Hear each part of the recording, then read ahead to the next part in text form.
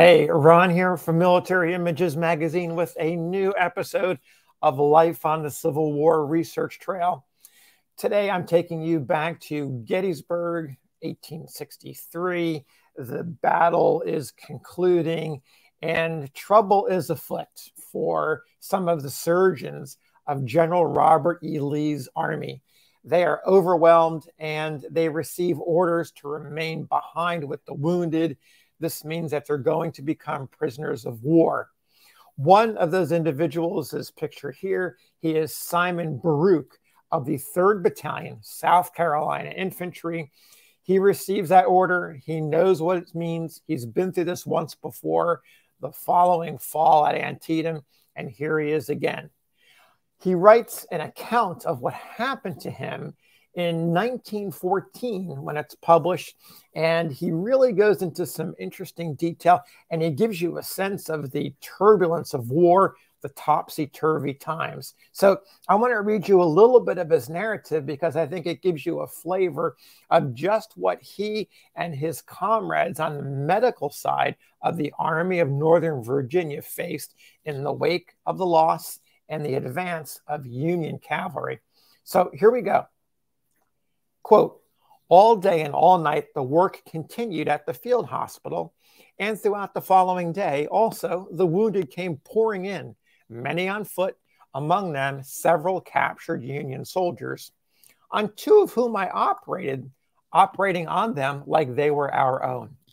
At sundown, I threw myself on a hay and slept until aroused by an orderly who brought a command from General Lee for doctors Pierce, Knott, and myself to remain at the Black Horse Tavern Field Hospital until further orders.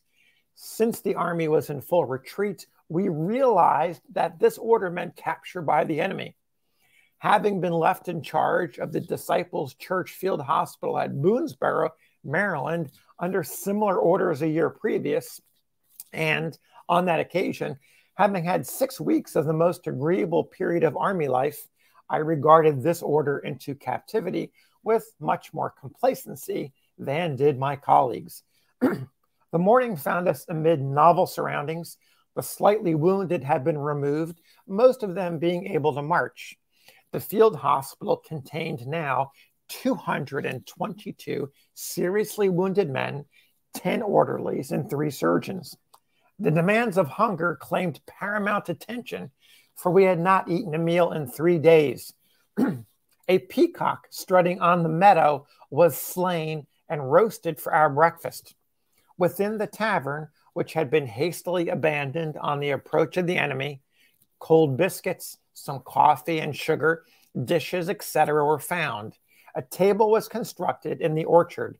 The surgeons seated themselves to enjoy a feast, which the hospital cook had placed steaming upon the table. Here was peace at last. Above our heads, the July sun shone brightly. Birds were twittering in the trees, and the fragrant blossoms scented the still air. The calm following the continuous roar of cannon of yesterday seemed uncanny. Never shall I forget the satisfaction with which I raised a knife to carve this novel roast fowl, saying, Here goes my companions laughed in joyous response. The knife had not touched the fowl when suddenly the scene of content and promised joy was overcast by the clouds of war. A shell flew shrieking over our heads, its shrill whistle silenced by an explosion in the field nearby. There were an astonished and disappointed trio of doctors. The wounded began to moan, calling us to come to them. A yellow cloth was hastily fastened to the lightning rod of the barn, and we passed among the wounded to reassure them, while six shells exploded in uncomfortable proximity. When all was quiet again, we noticed two scouts with field glasses in their hands dashing away. After the wounded had been quieted, we, we returned to the deserted breakfast table consumed the cold food, and discussed the probable cause of the interruption. Happening to observe the hill in front of the orchard, my eyes beheld a novel spectacle. As far as the eye could reach, the summit of the hill was covered by a line of cavalry whose weapons shimmered in the brilliant July sun. The suddenness of their appearance lent awe to the scene. Slowly, the line rode down the hill. Dr. Pierce, the ranking officer, directed me to meet the pickets and to surrender because, he saw, you understand these Yankees. I hastily donned my gray coat and green sash and sauntered toward the advancing line, the cavalrymen being, being about three feet apart. A burly fellow ominously raised his pistol when I said, I surrender. The cavalryman said, Where's your commanding officer? In a distinctly Irish brogue, he cried aloud, Say, Cap, here's a Reb wants to see you. The captain galloped to my side, saluted, and asked, Are there many rebels around? I said, Yes, but they're all wounded. He replied, We'll see to that ourselves. Fall in, men.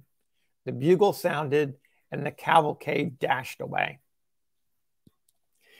So there you have it. The moment when Surgeon Simon Baruch fell into enemy hands, having walked out after his lunch, his impromptu cold lunch of roasted peacock and some biscuits on the day that he and other surgeons and 222 men, all Confederate soldiers, were in a field hospital when the Union Army advanced on them following the Battle of Gettysburg.